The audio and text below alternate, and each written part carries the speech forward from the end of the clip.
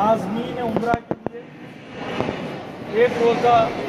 تربیتی کیمپ منعقد کیا گیا ہے، جس میں تقریباً اس گروپ میں ڈیڑھ سو سے زائد عمرہ کے لیے روانہ ہو رہے ہیں۔ ہمیشہ کی طرح السعید ٹور اینڈ ٹریول اپنے بہترین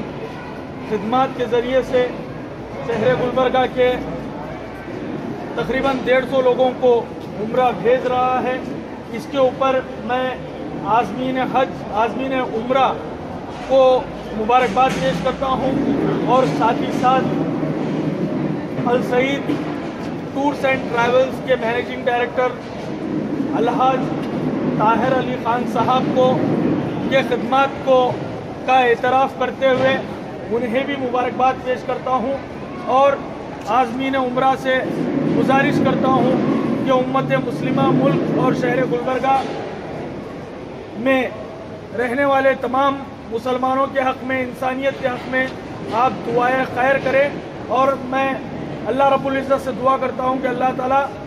اس عازمین عمرہ کی عمرے کو قبول فرمائے اور ان کے سفر کو آسان فرمائے۔